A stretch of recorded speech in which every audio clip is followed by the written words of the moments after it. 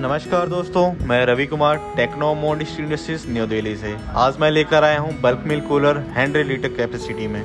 100 litre की BMC है ये, सबसे छोटा साइज़ आप देख सकते हैं, ये पूरा S S three zero four grade में बना हुआ है कंप्लीट बीएमसी ये इसका आउटडोर एसी है, इसके अंदर कंट्रोलर लगा हुआ है सब ज़ीरो कंट्रोलर है। जिस टेम्परेचर पर आप दूध को सेट करेंगे, उसी टेम्परेचर पे लाकर ये बंद हो जाता है ऑटोमेटिक होता है।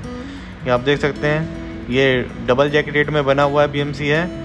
इसमें पफ इंसुलेशन होता है और पफ इंसुलेशन मतलब बाहर की गर्मी अंदर नहीं आने देता और अंदर की कूलिंग बाहर नहीं जाने देता। ये नीचे इसका एसी आउटडोर लगा हुआ है।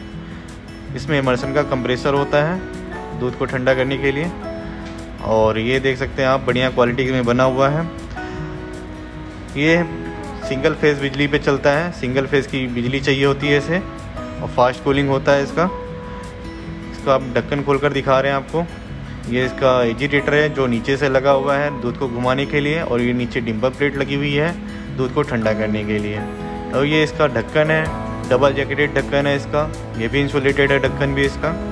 आप देख सकते हैं। ये जो बीएमसी है इसके अंदर अगर आप रॉ मिल्क को रखते हैं तो इसमें फाइव डेज़ तक दूध ख़राब नहीं होता। क्योंकि अगर इसको आप चालू करके रखेंगे तो चार डिग्री पे मेंटेन करके रखता है और दूध को ख़राब नहीं होने देता।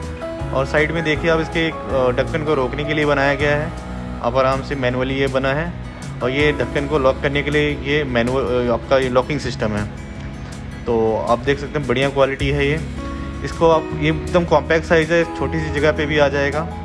कहीं भी आप आराम से रख सकते हैं। बहुत ही यूज़र फ्रेंडली है ये। और ये लॉकिंग सिस्टम है इसका, वॉल का। अब देख सकते हैं, खींच के ही लॉक हो जाता है, खींच कर ही बंद कर सकते हैं। मतलब लॉकिंग सिस्टम वाला वॉल है। पूरा S S three zero four grade में है और टेक्नोमोन इंडस्ट्रीज़ में बना हुआ है।